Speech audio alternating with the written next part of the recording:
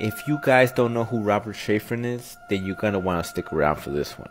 This is truly a remarkable story. I thought I had heard of everything until I ran across this. This is mind blowing. So, so it was one fall day in 1980 in this New Jersey campus in college where Robert Shafran was making his way to his dorm. Keep in mind, this was the first time that he had ever stepped foot on this campus.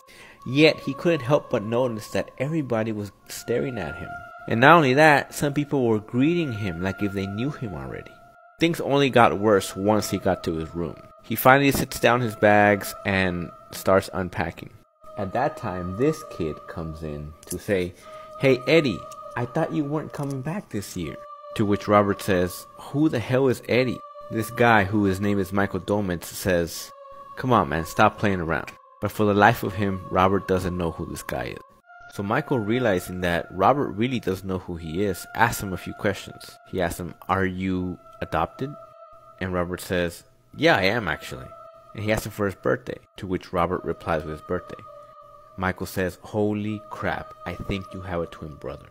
Robert and Michael, both perplexed by the whole situation, decide to go and call this so called Eddie. And holy shit, Eddie sounds just like Robert. He can't believe it. Michael and Robert hop on a car and go meet Eddie at his house, even though it was 10 p.m. When they get there, holy crap, they're identical twins. They have similar taste in music, food, and women. Eddie's mom states that she had no idea when she adopted Eddie that he had a twin brother. Soon enough, though, the newspaper would get a hold of the story, making the twins a pair of local celebrities in New York. But this is where the story gets weirder. As the brothers were gaining notoriety around the New York area, even appearing in one of Madonna's music videos, it was one day that a guy named David Kellman ran across the story.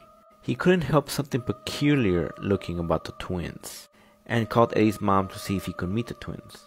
She said, Yeah, come on over whenever you want. And this is the other bombshell in the story. David Kellman is the third brother. How could this happen? Who let this happen? There were many questions left to be answered. For the time being, the boys got to partying and spending every waking second with each other that they had lost. The party, though, would be short lived, as to the boys were to find out the real reason why they were separated at birth. And the truth is very sinister. So this here is Dr. Peter Neubauer, a psychoanalyst.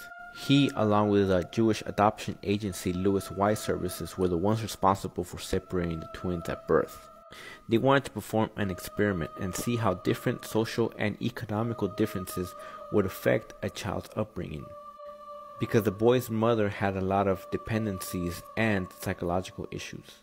So he gave one of the boys to a rich family, one to a poor family, and one to a middle class family.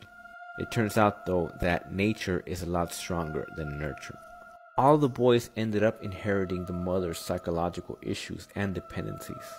And unfortunately, Eddie, the second brother in the story, ended up committing suicide. This is a cautionary tale of nature versus nurture and medical and psychological malpractice. Like and follow for more stories like this.